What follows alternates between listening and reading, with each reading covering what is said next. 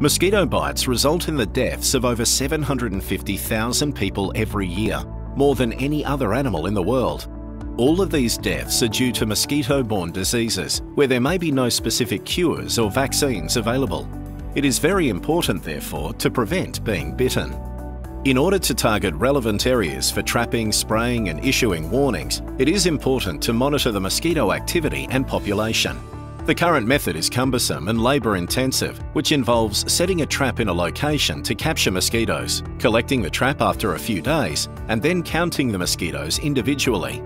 MozTrack is an automated surveillance device which tracks mosquitoes using high-speed digital cameras, sophisticated image processing software, and optical tracking technology.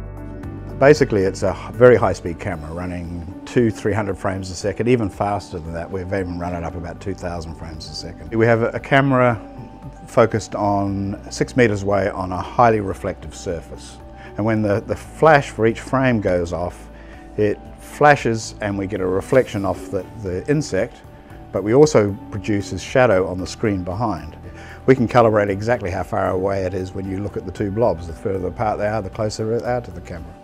So with that information, we can then determine size, speed, everything else we need to, to, determine. It will process and classify its subjects, adding the generated information, such as images, species, abundance, collection time, and local weather information to a cloud database service.